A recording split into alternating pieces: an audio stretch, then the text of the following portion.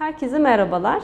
Ee, Ben uzman doktor Sağlık Bilimleri Üniversitesi Ankara Atatürk Sanatoryum Eğitim Araştırma Hastanesi'nden deri ve zührevi hastalıklar uzmanı Doktor Sezgin Ünlü Açıkel, havaların ısınması ile yoğun güneş ışığına maruz kalınmaması konusunda uyarılarda bulundu. e, tatil yapma fırsatı bulacak. Bu tatil sürecinde özellikle cilt hastalığına sahip olanların Güneş kremi kullanmanın önemine de değinen Doktor Açıkel, krem seçerken de cilt yapısına ve özelliklerine uygun ürünlerin tercih edilmesinin hayati öneme sahip olduğunu söyledi. insanların güneşten korunması gerekiyor. Çünkü güneşin Konu hakkında özellikle tatile giden erişkinlerin ve çocukların güneşten etkin bir şekilde korunmaları gerektiğine dikkat çeken Açıkel, güneşten korunmak için yapılması gereken en önemli şeyin cilt tipine uygun bir güneş koruyucu krem kullanılmasının olduğunu altını çizdi. malumunuz önümüz bayram. E, Bu bayram tatili de 9 güne uzatıldı ve böylelikle e, pek çok vatandaşımız e, tatil yapma fırsatı bulacak. Bu tatil sürecinde özellikle cilt hastalığına sahip olanların nelere dikkat etmeleri gerektiği konusunda bir takım önerilerde bulunacağım. Öncelikle tabii ki sadece cilt hastalığı olanların değil, e, tüm insanların güneşten korunması gerekiyor. Çünkü güneşin e, her ne kadar e, faydalı yönleri, etkileri olsa da bir takım zarar verici etkileri de var ve bunlar biliniyor. Özellikle çocuk yaş grubunda güneşten korunma son derece e, önemlidir. E, Çünkü cilt kanserleri açısından e, erken dönemde olan ciddi güneş yanıkları son derece büyük bir risk oluşturmaktadır. Özellikle tatile giden vatandaşlarımızın tabii ki hem erişkinlerin hem çocukların güneşten etkin bir şekilde korunmaları gerekiyor. Ee, güneşten korunma ile ilgili hep tabii ki bahsediyoruz ama insanların kafasında bir takım soru işaretleri, kafa karışıklıkları olabiliyor.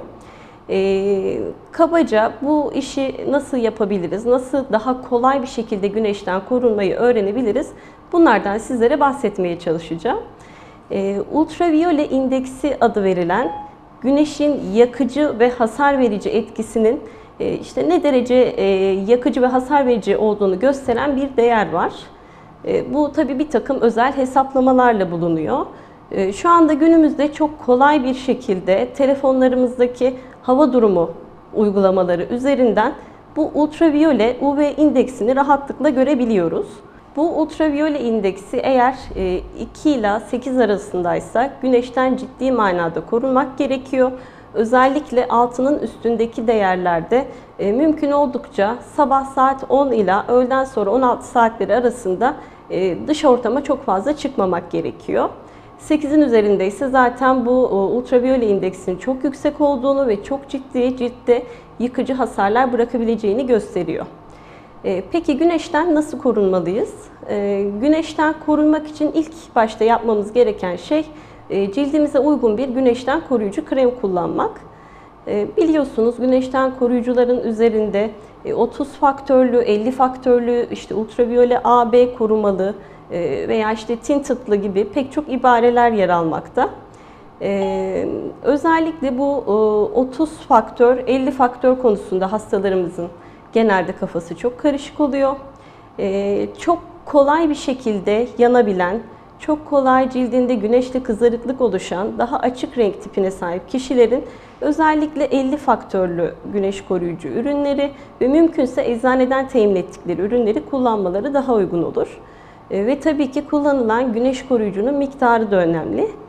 Ee, genellikle yüz bölgesi için bir tatlı kaşığı kadar, e, kollar için ise ikişer tatlı ka- kaşığı kadar güneşten koruyucu krem kullanılması önerilmektedir.